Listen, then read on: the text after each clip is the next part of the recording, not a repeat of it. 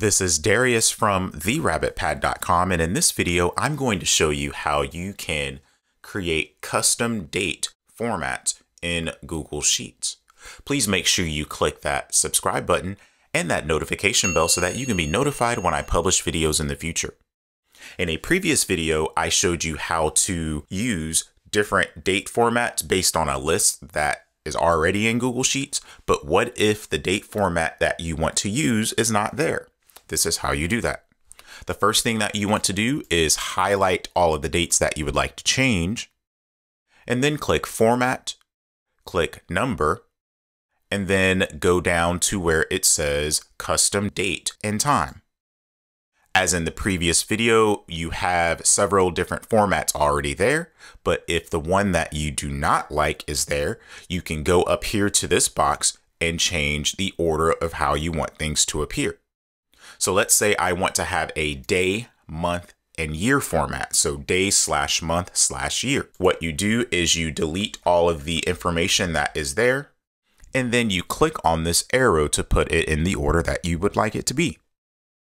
So I click on the arrow and I'm going to start with my day. So I'm going to click day and then I'm going to put a slash there, or if you prefer a dash, you can do that.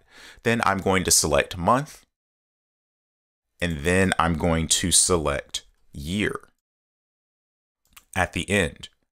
And if you want the day to appear as a number or have a zero in front of it or have the full day, you can click the up and down arrow and change that. And let's suppose I want my year to be a full numeric year. I will select that. So instead of having 30 as in 1930, I will have full 1930.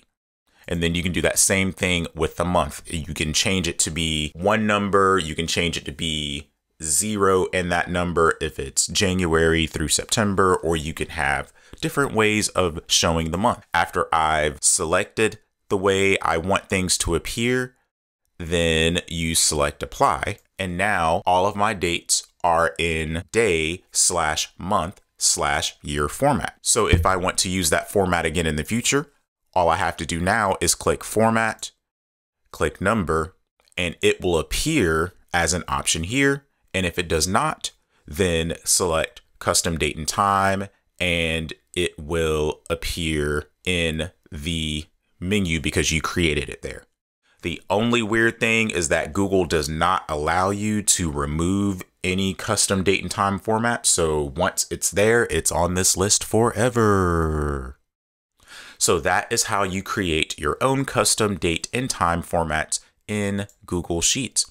If you found this video helpful, please click that like button and subscribe to this channel to see more helpful tips in the future. Also, please be sure to visit my website at therabbitpad.com.